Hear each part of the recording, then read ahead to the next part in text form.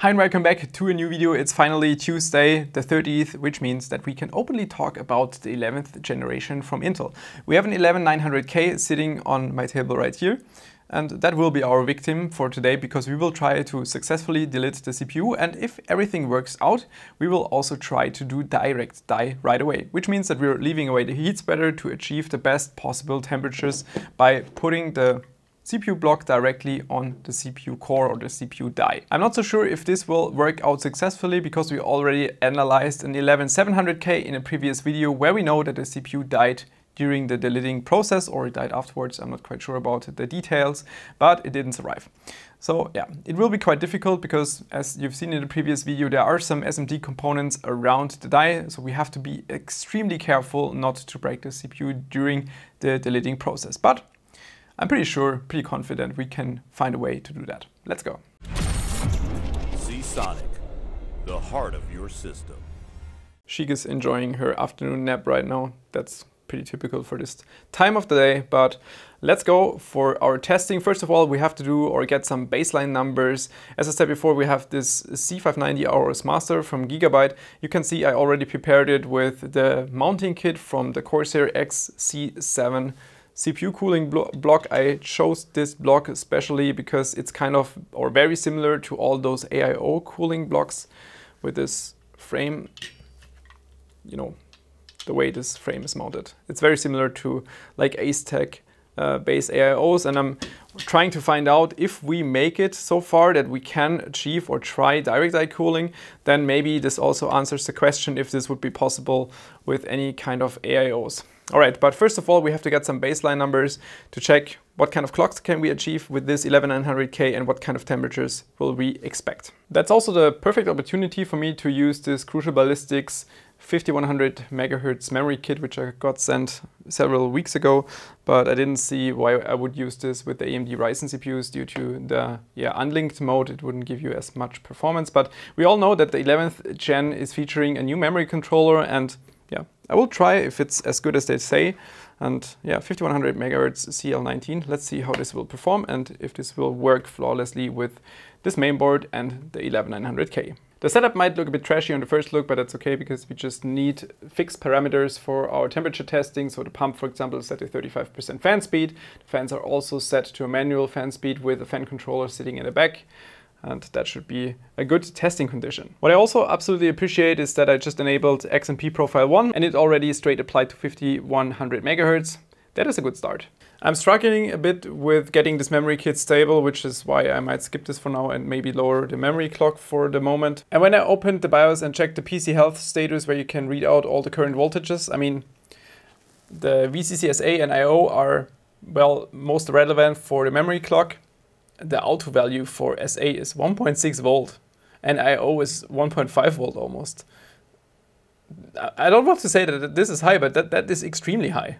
Luckily, we have some voltage measurement points, and now I'm just double checking if those voltages read out in the BIOS are actually real because they seem very high. And indeed, it's 1.6 volt on VCCSA, and that is that is too high. And I will try to first to lower the voltage and see if that helps stability because this value is, is really too much. Otherwise, I will have to lower the memory clock. One thing that is different for Rocket Lake compared to the previous generation is that we also have two VCCIO rails. Previously, we only had one, but now we have VCCIO first and second. Well, I mean, this marking is not the greatest because like one and two is not doesn't help much. But you can identify them by the stock value. The one has 1.05 and the other one has 1.00 volt. This one, which is sitting at 1 volt straight, that is the, um, the voltage which is responsible for memory overclocking. So that one can be set, in our case, maybe like 1.4. You should stay between like 1.15 and 1.45. That should be the absolute maximum. Same goes for the system agent we will try those values, but they, they are rather high values and more like typical extreme overclocking values. Yeah, those are on the upper range, but we will see if it works. And if we check on PC Health status previously, we had VCCIO from 1.5 and 1.6 to 6, because that, that is too much. All right, let's check if this helps or not. Yeah, you can see still BSOD. Not gonna waste much more time on that.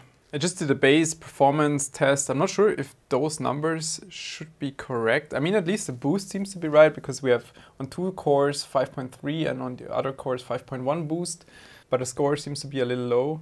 635 single, 5444 in multi, but all right. Let's just perform the manual overclocking now.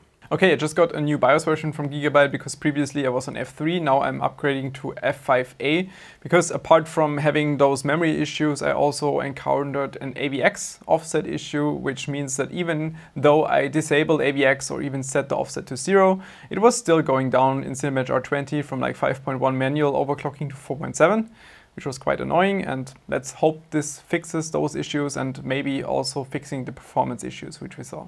There's one thing I will have to investigate further. Looking at just the VRM cooling design, this is absolutely fine because we have those fin stacks right here with a ton of surface area and the temperature of the VRMs should never be an issue. But there's also a tiny fan sitting inside here. You probably cannot see that one. I have no idea why, but this fan is constantly spinning at 8000 RPM and that, that is kind of annoying. It's reading a temperature of 51 degrees Celsius right here. I'm not sure what kind of temperature that is because it's not specified. Shouldn't be the VRM because VRM is reading 53 and that is looking cold. I have no idea, but uh, it's annoying. Finally managed to get the overclock stable. I'm currently running 5 gigahertz across all cores. It's not the greatest clocker by far. And measured V-core on the main board, it's 1.38 volt under load. We're hitting temperatures between 80 and 90 degrees Celsius, which is surprisingly cold, I would say, considering the fact that I'm running 1.38 volt. That is definitely more than what you could run on a 10900K with 10 cores. And also look at CPU package power draw, 300 watt under load. That is pretty insane. The, the power consumption is insane, but considering the power consumption of 300 watt, I'm kind of okay with the temperatures. All right, that should be our baseline. I will do some more temperature testing and then we will go ahead finally to do some delidding. Time to get to the more interesting, but at the same time also way more challenging part, delidding the 11900K. Just for comparison reasons, we have a 9900K, 10900K right here. You can see that the only difference is pretty much that the 10900K has a larger die, but overall both CPUs are very simple, no components are in the way. Whereas if we compare it with the 11900K, Bottom left corner, we have a line of caps. Bottom right corner, we have a line of caps. And we know that underneath right here, there is also an additional line of caps or resistors, but should be caps. Anyway, the only way we can delid the CPU from what I can judge right now is that we slightly push the IHS to this direction and then maybe move it back to use metal fatigue. Let's see.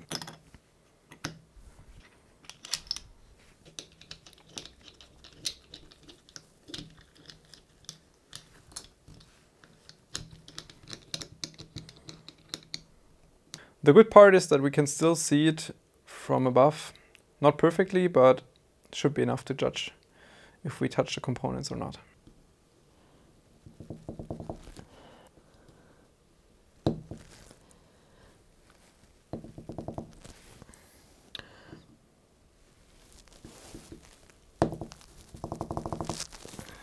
Well, just at least subjectively speaking, you need a lot more force than with the previous generation probably because of the larger die and then need more surface, uh, need more force.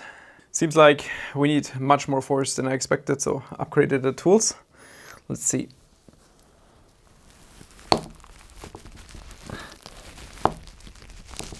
The IHS moved, so we're going to open it up and inspect it. We're really on the edge right here on the bottom. Cannot move the IHS any, any further without damaging any of those parts. On the bottom right, it still looks okay. So right now I will move the IHS back up into the original position and try to repeat this for like 10 times and see if metal fatigue works. If it does not work, then we will have to heat up the CPU because we know that the glue is loose at least, which means that we can put it into the oven at about 170 degrees Celsius, melt the indium and then remove the IHS. All right, it's a bit too risky for me right now. That's why I decided to put it into the oven. You can see I still moved it down again towards the outer SMDs and I repeated this step at least 10 times, but still, because the indium is very sticky and it's like a very soft metal, you would have to move it further to kind of release the IHS from the die. But yeah, let's just put it into the oven. It will be easier. Uh, yeah, this oven has seen, I think, more hardware than pizza, right? Set to 170 degrees Celsius. Stuff is melting at about 155. Let's wait for 20 minutes.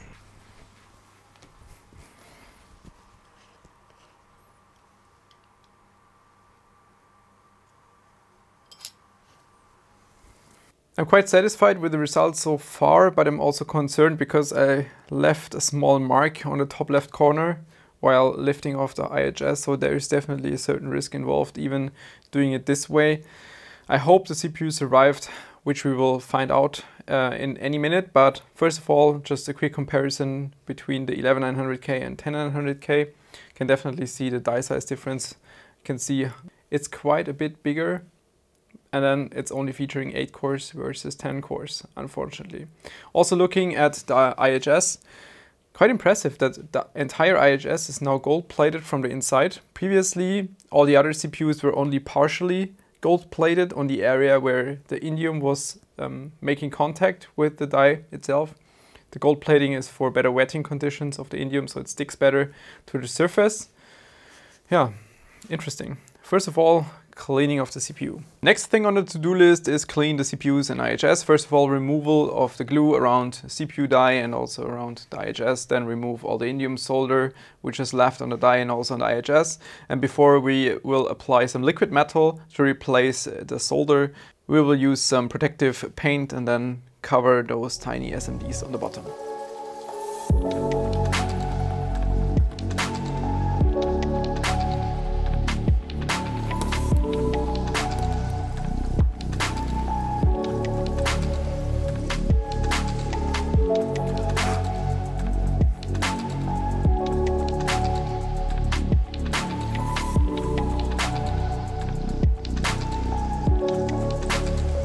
Already done with the IHS. Now only remaining to remove the residues from the indium solder on the die.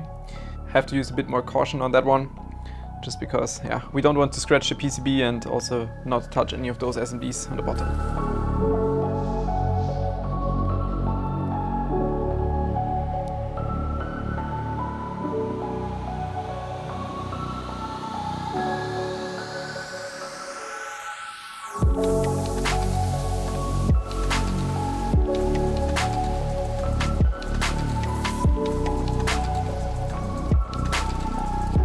One interesting aspect for me will always be what is the die height. That, that was the 10900K and on 10900K we had a thinner die than on the 9900K. We could also figure that out by just measuring the IHS height because the essential package size is pretty much the same always. And on the 10900K the center of the IHS was about 2.6 millimeter high, while this seems to be the identical IHS height compared to the 9900K, which kind of would mean that the die of the 11900K would have a similar height as the 9900K. So that was thin, that was thicker. It seems like the 11900K also has a thicker die. Interesting. So quick die height measurement. For that, just gluing the chip into the Die Mate makes it much easier because I have a flat surface underneath. For the measurement device, not sure what the exact wording for this one is, in English. All right, so die height, 0.6 millimeters. That is as thin as the 10900K. That's kind of surprising. It means that the overall package is kind of lower or that the PCB got thicker. Let's check the PCB. So 10900K, about 1.13 millimeter thick PCB. Okay, so there is our height difference. It's because the PCB is thicker, 1.23, so 0.1 millimeter thicker. That is actually a very, very good change for us, keeping in mind that we want to or might want to do direct die. Because keep in mind, first of all, the die is bigger, which means that we have a bigger surface area for our cooler to make contact. At the same time, this also means that there is less area on the PCB which can bend. And then the PCB is stronger because it's thicker. That should also help in addition for direct die cooling. That is very nice. This could even mean that you don't even need a direct frame for this um, generation. Might even be that this tiny thing, this tiny thing will be enough. We will see. So quickly protecting those SMDs and then liquid metal time.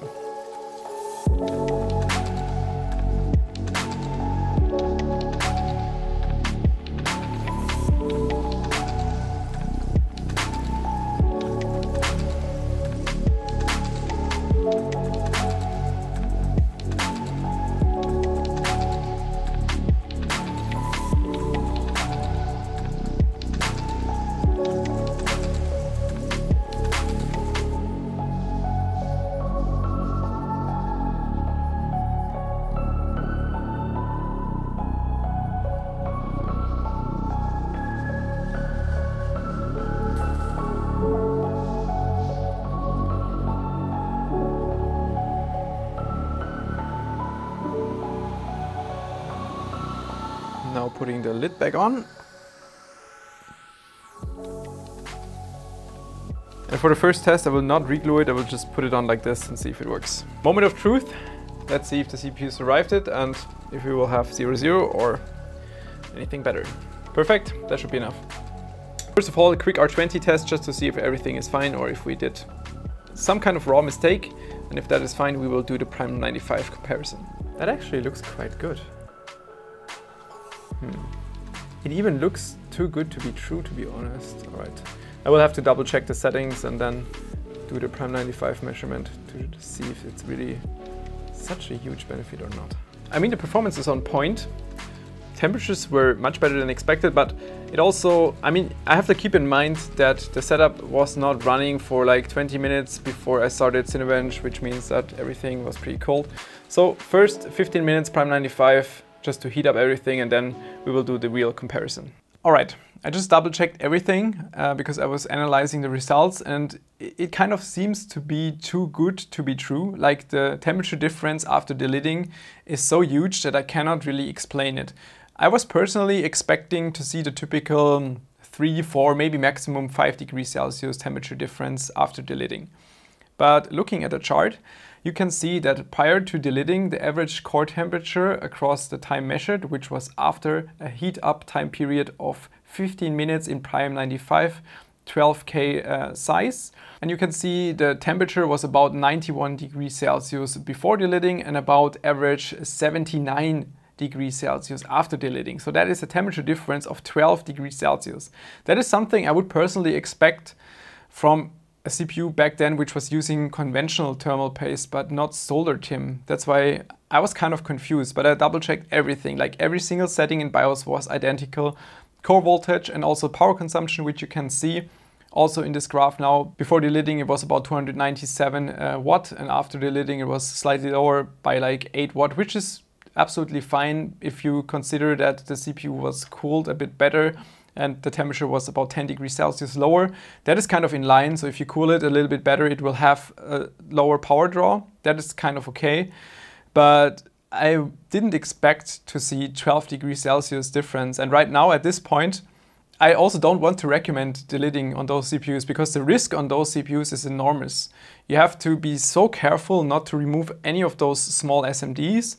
And I mean, the only way you can do it is that you just use your delidder and push it a little bit so you lose the glue and then put it into the oven to kind of release the indium. That is probably the safest way, but there is still a very high risk involved delidding those CPUs and I just want to see like two or three more results because I cannot believe that those 12 degrees Celsius are true. Even though I double checked everything, like I literally double checked absolutely everything from room temperature, um, water temperature, fan settings, voltages, everything was in line.